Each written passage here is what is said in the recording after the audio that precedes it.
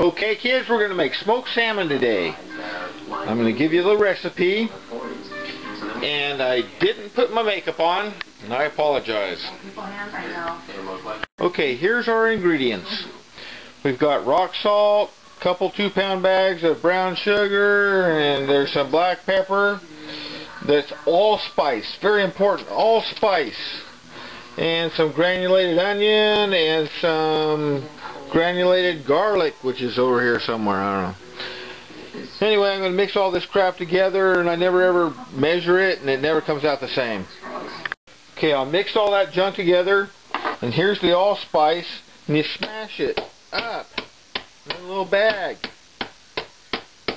And then you, you mix it all up. Then you put the rock salt in, and, uh, you know, like uh, one part salt, two part sugar, kind of just dump a little bit of rock salt in. Then I'll sprinkle a little bit of ginger in sometimes. Sometimes I'll put paprika in if it's a tule that makes it turn red. And whatever you want. Okay, then you cut up a whole bunch of spring chinook. And if you have to cut up a nasty fall chinook of any sort, put a lot of paprika in there. And it'll make it sort of red. Good for relatives.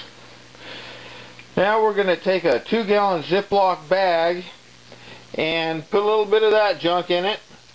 Then drop those in, making sure that they're skin side up, and down and whatnot. And then add some more of this and then some more of those until the two gallon Ziploc bag's all full of this stuff here and this stuff here. Then put it in the fridge for a while. Like two days or until you remember to smoke it. Okay, earlier I told you to put in the canning or pick or some salt, but anyway, make sure it's rock salt. Otherwise it gets all salty. And you really don't need all that much salt. No one's ever died. And there it is in the bag. And you mix it all up, but that's pretty futile. It's all going to get all runny and juicy in, in the morning and it won't matter. After I juice it for about 12 hours or next day or whenever the heck I get around to it, I kind of open the bag and then drain out a lot of the juice. Then I pour in apple juice. Apple juice makes it so later on you don't have to totally rinse it. You can just dump it out and it sort of rinses itself off and you get a little more of the goodness flavoring and whatnot. Okay, here it is the next morning. It's all juicy and I've poured out a little bit of the the moisture and I'm going to put apple juice in it now. And it has to be 100% pure apple juice or any other apple juice you can find.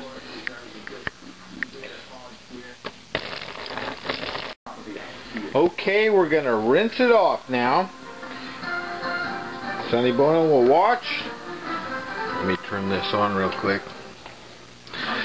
And all we're going to do is put it in the spaghetti dilly and just rinse it off just lightly. And kind of like this.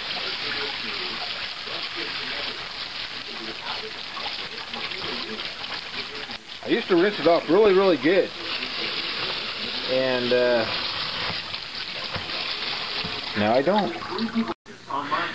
Now we're going to lay them out on 10 bucks worth of paper towels and then we're going to put a couple paper towels over them and keeps the cats off them and let it dry out a little bit.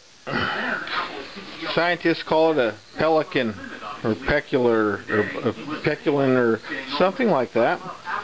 Anyway it gets kind of tacky looking on the outside and you want to do that before you smoke them. Now we're going to work on the smoking chips. And here we have some alder chips. A little bit of water poured on them. They don't want to be just dry. And uh, a use for wine finally. A little wine in there. Let them soak for a little bit. Then we're going to put a little stainless steel tub of water in our smoker and we're going to put some cloves in it. And I have no idea if it makes any bit of difference at all. But it does keep it moist, especially if you're smoking some trash fish like a fall chinook. You always put a little pan of water in your smoker and people put things in it and I put cloves in it because it makes the neighbors curious as to what I'm smoking. Okay, it's in the smoker and we'll take it out in about six or eight hours or something like that.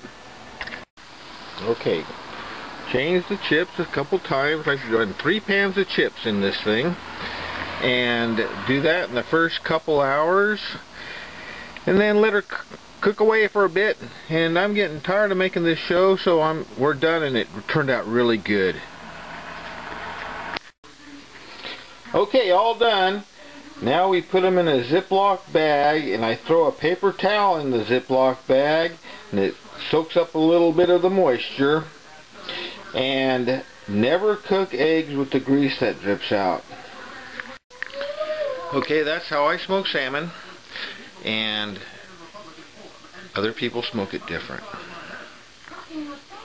Just remember, a couple pounds of sugar, some rock salt, do whatever you want. It doesn't make that much difference. The temperature in the smoker is like 130 degrees.